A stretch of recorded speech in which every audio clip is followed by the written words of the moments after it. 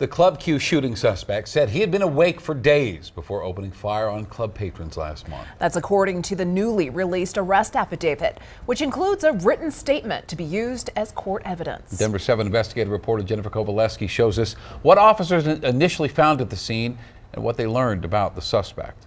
We're learning chilling new details about what happened that night at Club Q. A judge ordered prosecutors to unseal the arrest affidavit by the end of the day today. The five page document takes us inside what officers saw as they responded to the shooting. It's been 18 days since hate walked into this Colorado Springs club and turned a safe place for the LGBT community into the latest scene of a mass shooting. Prosecutors have formally charged the alleged shooter with 305 counts for killing five people and injuring 22 others. Now, for the first time, we're getting the perspective of the officers who were on scene that night. Newly released court documents detail the timeline and how the alleged gunman arrived at Club Q. Five minutes before midnight, surveillance video shows the shooter parked a gold Toyota Highlander just feet from the entrance to the club. Police say the suspect, Anderson Lee Aldrich, was wearing a ballistic vest and was carrying an AR 15 style assault rifle. Video also shows the moment the gunman walked in, opening fire immediately after people in the club stopped the shooter. The arrest affidavit says the suspect was overheard at the hospital telling medical staff he was sorry, and he had been awake for four days.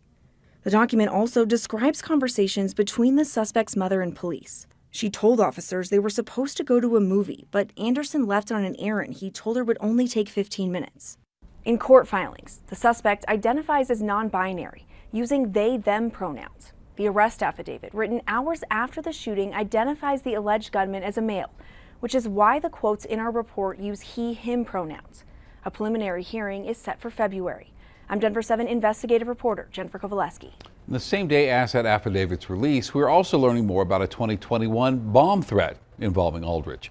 The FBI says it received a tip about Aldrich the day before the suspect was arrested for that bomb threat. The threat forced the evacuation of an entire neighborhood in Colorado Springs. The FBI says it conducted an assessment of Aldrich, but that ended when state charges were pursued. Those charges, however, were eventually dropped. Denver 7, along with other media outlets, are seeking to have the documents from that case unsealed, and a judge is expected to make a decision on that during a hearing tomorrow morning.